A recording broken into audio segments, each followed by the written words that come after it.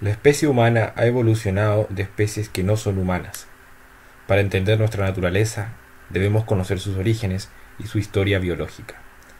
Esta historia ha sido reconstruida con la ayuda de muchas disciplinas científicas, la paleontología, la biogeografía, el estudio comparativo de los organismos vivos, la antropología y en épocas recientes la biología molecular. Los seres humanos, las ballenas, las jirafas, los perros, los gatos, los murciélagos y los monos, entre otros, integramos la clase de los mamíferos, cuyas características distintivas son tener pelo y alimentar a las crías con leche materna, a través de órganos especializados llamados mamas o glándulas mamarias. Dentro de esta clasificación, los humanos formamos parte del grupo de los primates, que incluye algunas especies como los gorilas, los orangutanes y los chimpancés, que son hasta el día de hoy los únicos eh, parientes más cercanos al ser humano con vida hoy en día. Compartimos con ellos varias características que no tienen otros mamíferos, como uñas planas en los dedos y dedos en vez de garras, manos, el dedo pulgar oponible a los demás, y en el caso de los machos, un pene que cuelga libre en lugar de estar adherido al abdomen. Si uno se pone a analizar el aspecto genético de la evolución humana, podemos ver que se presenta un árbol en el cual tenemos al gorila, al chimpancé y al bonobo por una parte, al neandertal y al denisovano que son especies de homínidos que vamos a ver más adelante y al homo sapiens. De acuerdo a este diagrama podemos ver que el, Homo sapiens, o sea, la especie humana de hoy en día, está más cercana al bonobo y al chimpancé que al gorila. Y así lo indican los estudios. Al analizar el genoma humano se ha descubierto que en su proceso evolutivo hay varios hechos que destacar. Así, se observa, por ejemplo, que el Homo sapiens comparte casi el 99% de los genes con el chimpancé y el bonobo. Para mayor precisión, el genoma de cualquier individuo de nuestra especie tiene una diferencia de solo el 1,24% respecto al genoma de Pantroglodites, el chimpancé común, y de 1,62 respecto al genoma de los gorilas. Por estudios de genética e inmunología se ha podido datar la divergencia entre la línea evolutiva del chimpancé y la del gorila, que fue hace 7,8 millones de años. Es decir, que hasta hace 7,8 millones de años ambos tenían un ancestro común y la del Homo, el género Homo, es de hace solo 6 millones de años. Todo empieza con los primeros posibles homínidos. Se considera que la etapa de la evolución humana parte con los primeros homininos bípedos que podían sostenerse en dos patas. Los primeros de ellos son Salentrapus chadensis, con una antigüedad de 7 millones de años, encontrado en el actual país de Chad, en África pero que genera dudas acerca de su adscripción a nuestra línea evolutiva. Otro de los más conocidos también es Ardipithecus, que apareció entre 5,5 a 4,5 millones de años, encontrado en la misma región. Los fósiles de estos homínidos son escasos y fragmentarios, y no hay acuerdo general sobre si eran totalmente bípedos. No obstante, tras el descubrimiento del esqueleto casi completo de un individuo de Ardipithecus, se han podido resolver algunas dudas al respecto. Así, la forma de la parte superior de la pelvis indica que era bípedo y caminaba con la espalda recta, pero la forma del pie con el dedo gordo dirigido hacia adentro, como en las manos, en vez de ser paralelo a los demás, indica que debía apoyarse sobre la parte externa de los pies y no podía recorrer grandes distancias. Luego de esto, aparecen los austra, australopitecinos, que ya son de manera oficial los primeros homínidos que se tienen en cuenta para la etapa de la evolución humana. Y aquí se tiene también mucha más información. Entre ellos está el Australopithecus afarensis, que es el del cual se tienen muchos datos y se han conservado esqueletos en muy buen estado, tal como la famosa Lucy, que es un espécimen hembra de Australopithecus. Este tipo de homínidos prosperó en las sabanas arboladas del este del África entre hace 4 y 2,5 millones de años, con un notable éxito ecológico, como lo demuestra la radiación que experimentó con al menos 5 especies esparcidas desde Etiopía y el Chad hasta Sudáfrica.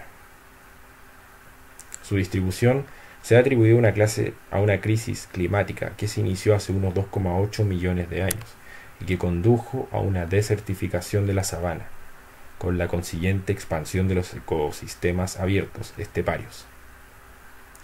Luego de esto se abrió, se abrió el camino para los primeros géneros de Homo. Algo más que acotar sobre los eh, Australopithecus. Hay muchas especies de Australopithecus. Por ejemplo está el Afarensis, que era la especie de Lucy. Eh, también está el Africanus. Bueno, todos están en África, pero hay distintos tipos de, de denominaciones. Algunos datos sobre su complexión física. Se dice que podían llegar a los metro 20 de altura. Pero lo que sí se está y se afirma de verdad es que tenían una clara posición y una postura bípeda. En algunas especies existía un marcado dimorfismo sexual, siendo el tamaño de los machos significativamente mayor que el de las hembras. Luego de esto empezamos con el género Homo. ¿Qué pasa con los Homo? ¿Por qué cambia la denominación? No se sabe con certeza de qué especie preceden los primeros miembros del género Homo se ha propuesto que el ya nombrado Australopithecus africanos, Australopithecus afarensis y Australopithecus gargi lo son, pero no hay un acuerdo general. Clásicamente se consideran como pertenecientes al género Homo a los homínidos capaces de elaborar herramientas de piedra. Desde ahí se tiene la, la idea de que se les puede llamar Homo a los, a los animales que pueden elaborar eh, herramientas para, para su beneficio. No obstante, esta visión ha sido puesta en duda. Por ejemplo, se ha sugerido que Australopithecus gari fue incluso capaz de fabricar herramientas hace 2,5 millones de años. Las primeras herramientas eran muy simples y se encuadran en la, industria lítica. Se les llama la industria lítica a los yacimientos encontrados en la, prehistoria, lítica significa piedra, donde se encontraron la, las creaciones, las herramientas de estos primeros homínidos. Las más conocidas son de esa época son el Oldubayense o modo 1, que se encuentran en la región de Etiopía, y su antigüedad se estima en unos 2,6 millones de años. De esta fase de los primeros Homo se han descrito principalmente dos especies, Homo rudolfensis y Homo habilis, que habitaron África Oriental, lo que sería el cuerno de África, Etiopía, Eritrea, Somalia, etc., hace 2,5 millones de años y 1,8 millones de años atrás. El, el volumen craneal de estas especies oscila entre 650 y 800 centímetros cúbicos. El Homo erectus fue uno de los primeros homínidos descubiertos que tenía orígenes fuera de África. Vivió hace 1,9 millones de años y habitaron el actual territorio de China e Indonesia. En África también se han hallado restos fósiles afines que con frecuencia se incluyen en otra especie llamada Homo ergaster. También en Europa diversos fósiles han sido clasificados como Homo erectus, aunque la tendencia actual es la de reservar el nombre Homo erectus para los fósiles asiáticos. Una característica principal de Homo erectus es la forma bóveda craneal, relativamente baja y angular, con un marcado toro supraorbitario, una, una frente marcadamente huidiza y la anchura mayor en su posición más baja. El volumen craneal, muy variable, fue aumentando a lo largo de su dilatada historia, o sea que el Homo erectus también desarrolló sus propias ramas evolutivas. Era muy esbelto y robusto, tenía una talla elevada, de un metro y ochenta centímetros de media. Producía industria lítica, principalmente achelense, y probablemente se le atribuye el descubrimiento del fuego. Este hombre fue uno de los que homínido fue uno de los que más perduró en la historia y su extinción ocurrió aproximadamente hace solo 70.000 años, vinculado a la llamada catástrofe de Toba que hablaré de ella más adelante. Hay demás teorías que dicen que el Homo erectus permaneció vivo muchos años después de la catástrofe de Toba y que hace solo 50.000 años pudo poblar lo más extremo de Asia, de Asia Oriental y el sudeste de este continente, yacimiento del río Solo en Java, y que pudo diferenciar en especies independientes en condiciones de aislamiento, como es el caso del hombre de flores, que habitaba en Indonesia, especie desaparecida hace solo 12.000 años, o el caso del hombre del ciervo rojo de China, desaparecido hace solo 11.000 años. Por su parte, en Europa se tiene constancia de la presencia humana desde hace casi un millón de años, por parte del Homo antecesor, especie que como dice el nombre era la antecesora de los Homo heidelbergensis y Homo neanderthalensis, o sea, el origen de los homínidos en Europa. Se considera hoy en día casi con seguridad al antepasado del hombre actual al Homo rhodesiensis en África, especie que apareció en aquel continente hace 600.000 años y se extinguió hace 160.000 años, durante el Ioniense, en el Pleistoceno medio. La fase final de la evolución humana tiene como principales protagonistas a tres especies inteligentes que durante un largo periodo convivieron y compitieron por los mismos recursos. Se trata del famoso hombre de Neandertal, la especie del hominio de Denisova y el humano moderno, Homo sapiens. Son en realidad historias paralelas que en un determinado momento se cruzaron. El Homo neandertal surgió y evolucionó en Europa y Oriente Medio hace unos 230.000 años, presentando claras adaptaciones al clima frío de la época, tales como complexión baja, frente grande, nariz ancha, mandíbula pequeña y una mayor complexión física. El homínido de, el homínido de Denisova vivió hace 40.000 años en los montes Altai, en lo que hoy en día sería la cordillera de Mongolia en Asia Central. El análisis del ADN mitocondrial indica un ancestro femenino común con las otras dos especies hace aproximadamente un millón de años. La secuencia de su genoma ha revelado que habría compartido con los neandertales un, ancestro hace unos 650.000 años y con los humanos modernos hace 800.000 años. Los fósiles más antiguos de nuestra especie datan de hace 200.000 años en Etiopía hace unos 90.000 años llegó al Próximo Oriente, es decir, a todo lo que sería Israel, la península arábica, etc., donde se encontró con el Homo de Neandertal, que huía hacia el sur debido a la glaciación que se abatía por esos años en Europa.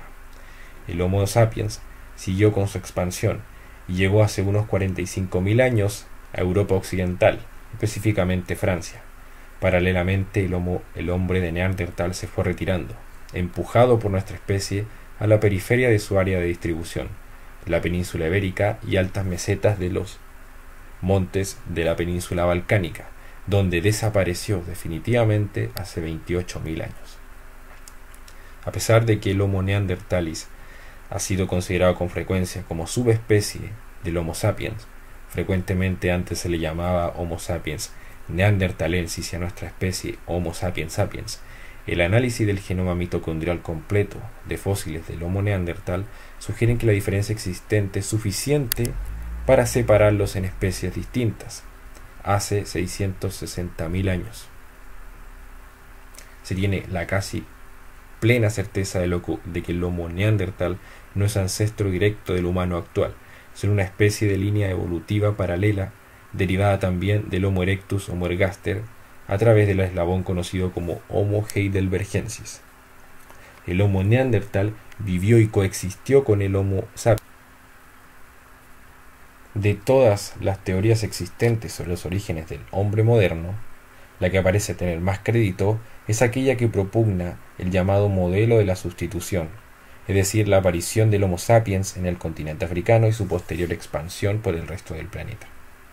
Sus defensores, entre los que destaca Cavalli Sforza, han demostrado con estudios genéticos que a diferencia de lo que propone el modelo multiregional, la diversidad racial, definida ya a finales del Paleolítico Superior, obedeció a adaptaciones climáticas ambientales y no a diferencias biológicas significativas. Todos los seres humanos así seríamos descendientes de una Eva mitocondrial africana. Eva mitocondrial fue una Homo sapiens, una mujer africana, que existió hace aproximadamente 100.000 años, que según los datos sería la madre de todos nosotros, de todos los humanos que habitamos la Tierra, ya que en el momento en que ella existió fue la única que pudo seguir una descendencia completa, o sea, no quiere decir que haya sido la única mujer Homo sapiens que haya existido en, el continente africano, sino que fue la única que logró que su progenie pudiera seguir adelante. Tenemos en cuenta también que el, mitocondria, el ADN mitocondrial se traspasa solo por vía materna. Este tema es también muy interesante y creo que le voy a dedicar un video completo. Estudios de los haplogrupos del, cromosoma Y humano correspondiente al hombre concluyen que por línea paterna hay una ascendencia que llega hasta el Adán cromosómico, el cual habría vivido en el África subsahariana entre hace 60.000 y 90.000 años. O sea que según la ciencia fue antes Eva que, que Adán, a comparación con la creencia religiosa. Entonces fue nuestra especie la única que logró poblar todos los continentes del planeta Tierra. Como podemos ver en este gráfico, vemos que obviamente sus orígenes están en África. Entre 170.000 y 130.000 años logró poblar todo aquel continente. Hace 70.000 a 60.000 años llegó a lo que es la India, entre 50.000 y 40.000 años colonizó Europa Occidental. Oceanía fue poblada hace 70.000 años, lo que sería Japón y el Extremo Oriente entre 35.000 y 25.000 años. Por último, al retirarse las glaciaciones, fueron poblados los, los extremos polares hace solo 9.000 a 7.000 años. En cuanto a los estudios demográficos de los Homo sapiens, se cree que la población humana fue muy exigua hace unos 74.000 años, que se redujo al borde de una extinción al producirse el estallido del volcán Toba, que se conoce como la teoría de la catástrofe de Toba, volcán ubicado en lo que hoy es la isla de Sumatra, cuyo estallido fue tan grande que dejó el rastro del lago Toba. Tal erupción tuvo la fuerza 3.000 veces superior a la erupción del monte Santa Elena ocurrido en 1980.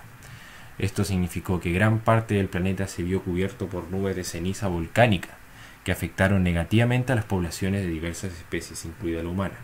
Se cree que es la responsable de la extinción de la especie del Homo erectus, que hasta hace muy poco, 70.000 años, aún existía. Según este esta hipótesis llamada entre la comunidad científica catástrofe de Toba, la población de Homo sapiens, entonces toda en África, la primera migración fuera de África fue en torno al año 70.000, se habría reducido a solo mil individuos. O sea, estuvimos a punto, a nada de extinguirnos. Si esto fuera cierto, significaría que el pool genético de la especie se habría restringido de tal modo que se habría potenciado la unidad genética de la especie humana o sea, se volvieron más fuertes. Sin embargo, no todos están de acuerdo con esta datación. Después de analizar el ADN de personas de todas las regiones del mundo, el genetista Spencer Wells sostiene que todos los humanos que viven hoy descienden de un solo individuo que vivió en África hace unos 60.000 años. Se cree, por tanto, que esta catástrofe fue el detonante para que los humanos modernos empiecen a expandirse a partir de África. Por todo lo anterior y todo lo analizado, se descarta en su gran mayoría la teoría del poligenismo, que se refiere a los orígenes del hombre en distintos continentes, y aceptando el monogenismo, que se refiere al origen del hombre en un único continente, que sería el africano. dando por sentado y descartando teorías racistas.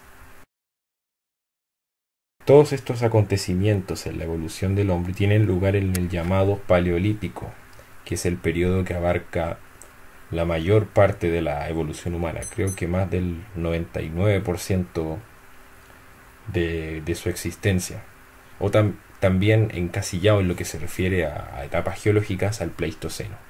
Coincide en el fin del Paleolítico con el fin del Pleistoceno, el inicio del Holoceno con el inicio del Neolítico que ya lo veremos en otro video. Entonces, para hacer un resumen y ordenarnos en cuanto al árbol genealógico del hombre, voy a nombrar y voy a tratar de hacer el esfuerzo de eh, ordenar cada una de las especies de homínidos para que podamos ver cuáles están relacionadas y emparentadas y cuáles no, según los últimos estudios. Viendo algunos, algunas gráficas, hay algunas eh, incongruencias entre ellas. Algunas me parece que el Homo erectus es ascendiente del Homo sapiens y en otras no. Pero creo que con esta está un poco más simplificada y un poco más clara. Bueno, saltándonos todo el paso de los de los de los australopithecus vemos que el Homo habilis y el Homo rudolfensis dieron origen al Homo ergaster. El Homo ergaster dio origen al Homo antecesor y al Homo erectus. El Homo erectus no dio origen probablemente a otra especie de homínido, el Homo antecesor dio origen al Homo rhodesiensis y al Homo heidelbergensis, y el Homo rhodesiensis dio origen a lo que seríamos nosotros, el Homo sapiens. El Homo heidelbergensis dio origen al Homo neanderthalis. De esta forma es la manera más simplificada de comprender cuáles son nuestros antepasados en la escala humana también pude apreciar este gráfico que está muy, muy complicado, el cual nos indica que, el Homo erectus también eh, forma parte de, de nuestros antecesores y que se separó en distintas ramas, dando orígenes también al Homo florescensis y al Homo neanderthalis por separado. Y la gráfica de acá también relativamente parecida. Porque se nos dice que el, Homo ergaster, que procede probablemente del Homo habilis, es descrito por algunos autores como el antecesor africano del Homo erectus.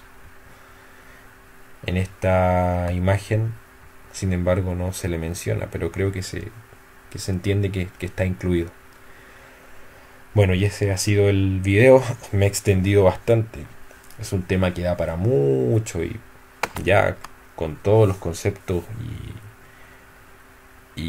especies que he nombrado voy a sacar muchos más videos. Espero que le haya sido de utilidad y nos vemos en la próxima.